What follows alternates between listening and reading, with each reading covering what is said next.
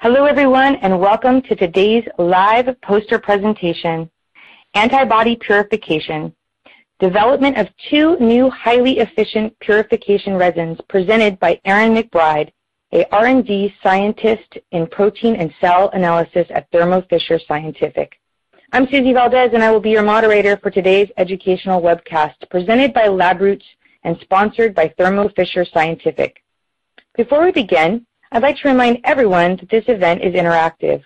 We encourage you to participate by submitting as many questions as you want at any time you want during this presentation.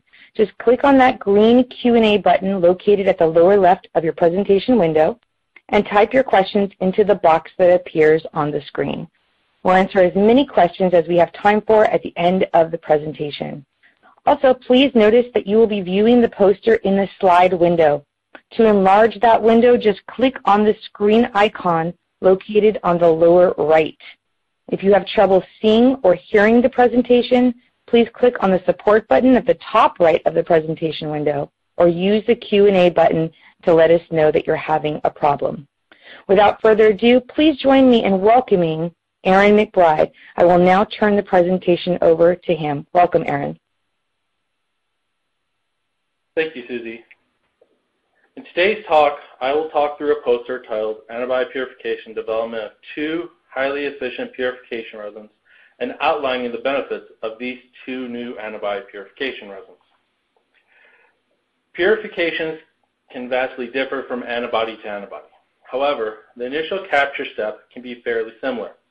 Most antibodies will be captured by one of four classical affinity ligands, protein A, protein G, protein AG, or protein L. But the ligand and the resin combination that truly makes the resin unique. The chromatography support can influence final purity similar to the ligand, but can also influence how you run your purification.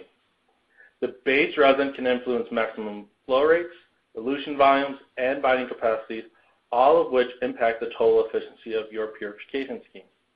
In this presentation, we'll describe protein G and protein AG on Thermo Fisher Scientific's Poros perfusion chromatography media. These resins offer significant advantages due to the unique properties of the porous bead and provide up to four-fold higher binding capacity when compared to a similar agarose-based resin. But first, let's discuss the different ligands. The classical ligands for antibody purification are either protein A or protein G. Protein A binds at the CH2-CH3 cleft but can also bind the VH3 variable region, allowing it to bind some Fabs. Protein A is used in the majority of the antibody purifications due to its better chemical tolerance and milder elution conditions. The disadvantage of protein A is that it does not bind IgG3 and does not bind all Fabs. Protein G is similar to protein A that it binds to the CH2-CH3 cleft but also binds to the CH1 domain, allowing to bind all Fabs. In addition, protein G binds IgG3 and has poor binding to other IgG subtypes such as IgA and IgM. The disadvantage to using protein G is that it does have lower chemical tolerance than protein A, and a lower pH is needed for elution. While the majority of purifications are binding a human or humanized IgG antibody, there is also a significant amount of purifications that deal with non-human antibodies. The specificity of protein A and protein G to non-human antibodies can vary greatly, and when choosing a ligand for a non-human antibody, each protein binding characteristic should be examined. In most cases, protein A and protein G are complementary, in that if protein A does not bind or binds weakly to one species, protein G will bind strong to that species. Now, for labs that are doing purification on a wide range of antibodies, there's protein AG. Protein AG is a chimeric protein that combines the five antibody binding sites of protein A and two antibody binding sites of protein G for all-in-one resin. As mentioned previously, the resins we'll talk about have either protein G or protein AG immobilized to the Poros base bead. This first graph compares dynamic binding capacity using human IgG for both Poros MAbCapture G-Select, protein G Sepharose 4 Fast Flow, and protein G plus agarose resins. On the y-axis, we have DBC, and on the x-axis, we have multiple flow rates. MabCapture G-Select maintains close to double the binding capacity when compared to Protein G Sepharose 4 Fast Flow and maintains the binding capacity over a wide range of flow rates. This difference is achievable due to the unique pore structure of Poros. Poros resins differ from traditional agarose resins in that Poros, the bead is transected by wide through pores, which unlocks the bead interior and allows for convective flow, in addition to much shallower diffusional length. Since diffusional distances are reduced, mass transfer is improved. This means that as linear velocity increases through the column, capacity and resolution are minimally affected. We look at the dynamic binding capacity of Poros MabCapture AG Select and compare this with both the Poros MabCapture AG Select and Pierce Protein AG plus agarose. Again, we see we show that dynamic binding capacity on the x on the y-axis, and on the x-axis we have multiple flow rates. As you can see, MabCapture AG Select maintains a five-fold higher capacity for human IgG over our agarose resins than multiple flow rates. Similar to the Poros MabCapture G Select, the difference is seen due to the unique pore structure of Poros. However, binding capacity is just one of many variables when choosing a good purification resin. Another trait to look at is resolution. These chromatograms show a purification of goat IgG from goat serum using three different purification resins. Poros MabCapture G Select, Protein G Sepharose 4 Fast Flow, and our Protein G plus agarose resin. These resins were loaded with serum that contained approximately 12 mg of IgG. In the chromatogram, you can see that the MabCapture G Select has a taller elution profile, indicating a higher binding capacity while also maintaining a smaller elution volume. The smaller elution volume is again due to the better mass transfer of the porous bead, in addition to the smaller bead size. The porous bead has an average particle size of 50 microns, while most agarose resins have an average particle of 90 to 100 microns. Having a particle size that is roughly the half the size of most other resins allow for superior resolution. In these chromatograms, again, we show purification using Poros MabCapture G Select and Protein G Sepharose 4 Fast Flow, but this time using mouse serum. As you can see from the chromatograms, both resins have similar binding capacity, but MabCapture G Select has a more efficient mass transfer, which allows for the protein to be eluted in a smaller volume. If we look at Poros MabCapture AG Select, we'll see a similar story. In these chromatograms, we performed purification with human sera that contained approximately 12 mg of IgG. We again see that the MabCapture AG Select maintains a higher binding capacity while also having efficient mass transfer, demonstrated by its smaller elution volume. Lastly, an important aspect of a chromatography resin is the life cycle of the resin. In this figure, we identified if the resin can be reused with minimal changes to the chromatogram and purity of the antibody. Here we took a single 1 ml column of Poros MabCapture G Select and subjected it to 26 purifications in total. 6 purifications of IgG from serum and 20 mock purifications.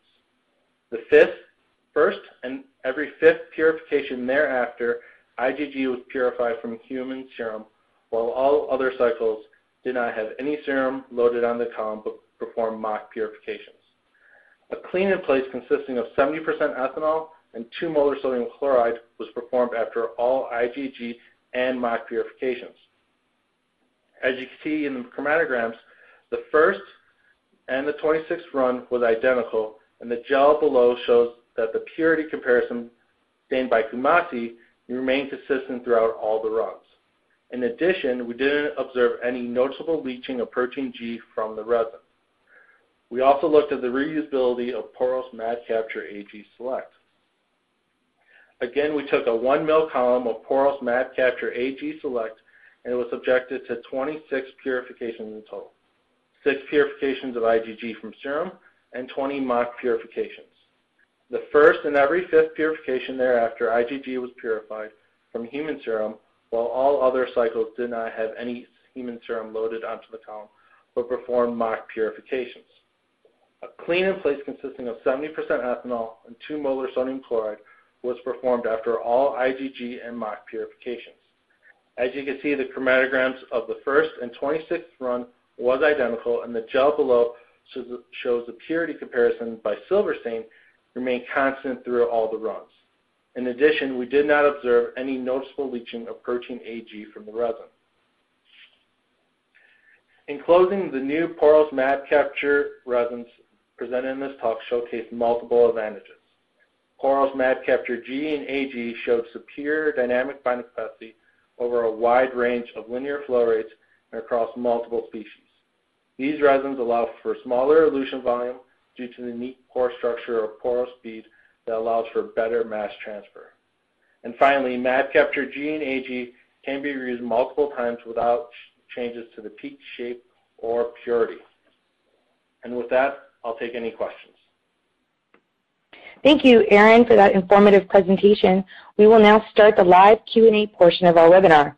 If you have questions you'd like to ask, please do so now. Just click on the green Q&A button at the lower left of the presentation window. Type your questions into the box that appear on your screen. Click on the send button and we'll answer as many questions as we have time for. So let's get started with our first set of questions. What type of column do you recommend for POROS 50 um, resins? Do I need high pressure columns for Poros? So the Poros resins are mechanically rigid and incompressible, and so they can be effectively packed in either low pressure glass columns or high pressure stainless steel columns. In addition, the columns can be packed in either traditional flow, axial compression, or pack and place methods. So really they can be packed in um, just about any column you need them to be packed in. Thank you so much. We have a set of questions coming in. Here's the next one. How many uses should I expect out of my Poros or Capture Select column? So really the resin lifetime is dependent on how the resin is used and the cleaning process that is utilized. So really the purification process will need to be evaluated specifically, especially in long lifetime as desired. Um, because the binding can be different between resins and different cleaning schemes. So an unoptimized cleaning procedure for any resin may yield less than five uses, while an optimized cleaning process can be yield 100 or more cycles. Um, for these resins, we provide recommendations of either with um, a 70% ethanol cleaning, followed by a 2 molar sodium chloride cleaning, and that has shown um, from our data to really extend the lifetime of column. Thank you. It looks like we have one more question from our audience members. How many uses should I expect out of my Poros? Um, and what type of column do you recommend for Oh, I'm sorry, that one was already answered as well. Okay. I think you've answered both of them. Thank you so much. If there aren't any more questions, we're going to go ahead and close. Did you have any closing remarks that you'd like to provide? Not at this time. Uh, I believe that um, the presentation really showed the, use and the benefits of the Mab Capture G and AG Select resins. Um, and if you guys have any further questions, um, I'd be I'd be great to answer some. Wonderful, thank you. I'd like to once again thank our presenter for today's presentation. I'd also like to thank LabRoots and Thermo Fisher Scientific for making today's educational webcast possible. Before we go, I want to let everyone know that today's webcast will be available for on-demand viewing through May of 2018. You'll receive an email from LabRoots letting you know that this webcast will be available for replay. Please share that announcement with your colleagues who may have missed today's live event. That's all for now. Thank you for joining us. We hope to see you again soon. Bye-bye.